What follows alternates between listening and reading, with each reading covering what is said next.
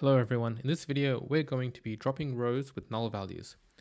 It's fairly common in practice to receive incomplete data from data sources.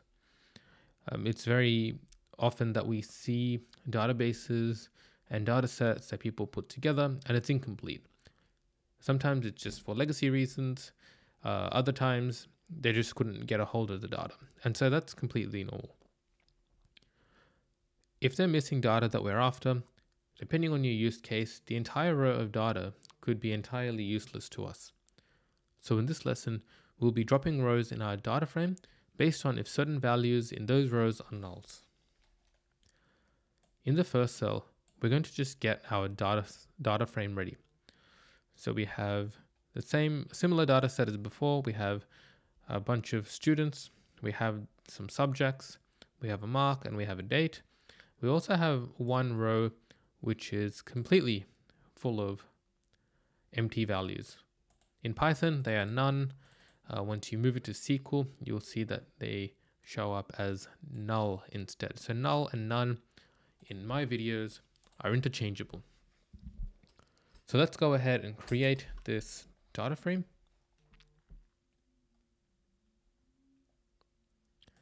There we go, and we display that.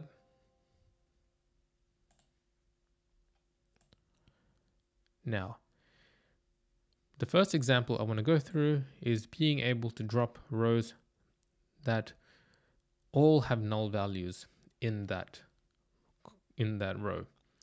So what we use, what we'll be using for this exercise is nf dot sorry df dot na dot drop, and we have our data frame. We want to display it now. We can see here we have one row is entirely nulls. And so if we want to drop that, which is completely useless to us, it gives us no value whatsoever, we can say marks underscore df na drop and the magic or the special source is here. And we're in the drop function. We specify all for the how argument. So that's just saying if all of the values are null, then we want to drop it. And so we run that and our resulting data set only contains seven rows. We basically dropped the, the row where all of the values were null. Now, here in the next example, we want to drop rows where certain values are null. So here, in this example, we want to say um, we want to drop all the rows where the subject is null because we just because if we don't know what subject it is, we don't know what where to assign that mark. So how we do that, marks underscore df dot na drop and we sub put the subset as subject and we call display on that. And what happens is that we end up dropping every single row where the subject was null. So we should be doing three drops there.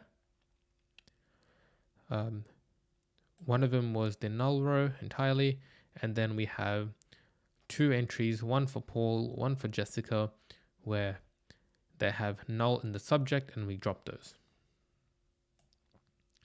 And therefore we end up with just five rows, which is exactly what we expected.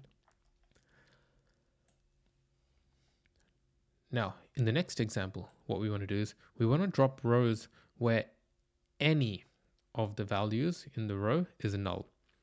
So how do we do that? We say marks underscore df dot drop na dot display. So this will drop where anything is null. Even if you just have one null or if there's an all null or anything between, they get dropped. There we go. So we have now dropped that basically we have dropped half of the data set because just at least one of the values were null.